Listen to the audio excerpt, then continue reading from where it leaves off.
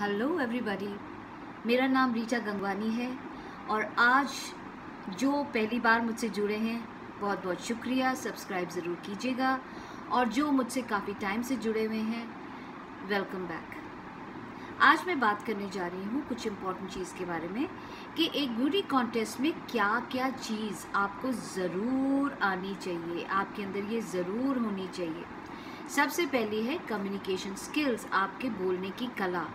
आपको लोगों के आगे बोलने की कला आनी चाहिए पब्लिक स्पीकिंग आपको लोगों के आगे बोलने से डर नहीं, हिचक नहीं।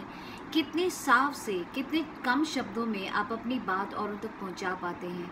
That is very very important तो अपना कम्युनिकेशन स्किल्स के ऊपर काम करना शुरू कीजिए ताकि आप खुलकर अपने दिल की बात औरों तक पहुँचा सकें। दूसरी चीज़ जो कि जूरी आपके अंदर ढूंढेगी, देखेगी, वो है आपकी फ़िज़िकल ब्यूटी फ़िज़िकल ब्यूटी का मतलब ये नहीं, आप गोरे हों या काले हैं या सामने ना ना। आपकी पर्सनल हाइजीन आपका रख रखाव आपकी स्किन कैसी है, आपका हेयर कैसा है, आप कपड़ों को कैसे कैरी करते हैं, आप किसी के ऊपर कैसे एक अच्छा इम्प्रेशन छोड़ते हैं द फ़िज़िकल आस्पेक्ट सो अपनी बॉडी लैंग्वेज पे काम कीजिए, अपनी लुक्स के ऊपर काम कीजिए, अपनी फिटनेस पे काम कीजिए। आपका हाइट और आपका वेट प्रोपोर्शनेट होना चाहिए। आप बॉडी में फिट होने चाहिए हेल्दी होने चाहिए। So second thing is your physical beauty तीसरी चीज़ जो जूरी आपके अंदर देखेगी, वो है वॉक आपका स्टेज के ऊपर आप कैसे चलते हैं? दोस्तों, ये जान लो कि एक फ़ैशन वॉक और एक पैजेंट वॉक दोनों अलग चीज़ है। फ़ैशन वॉक में आपके कपड़ों को ध्यान दिया जाता है, लेकिन एक पैजेंट वॉक में आपकी तरफ़ ध्यान दिया जाता है। तो अपनी वॉक को अच्छा बनाइए।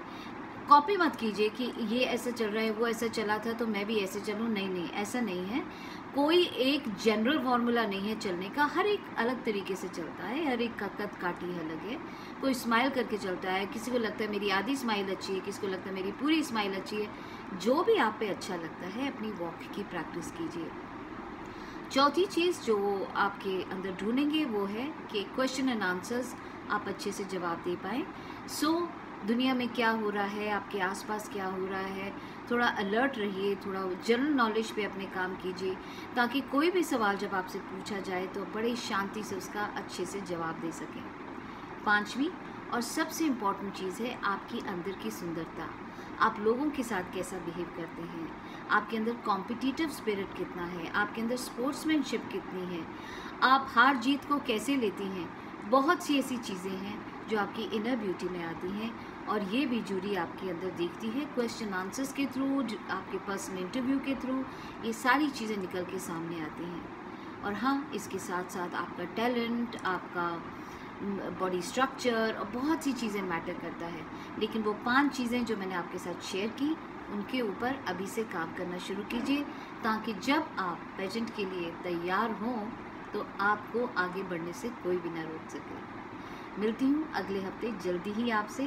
तब तक अपना ख्याल रखिएगा।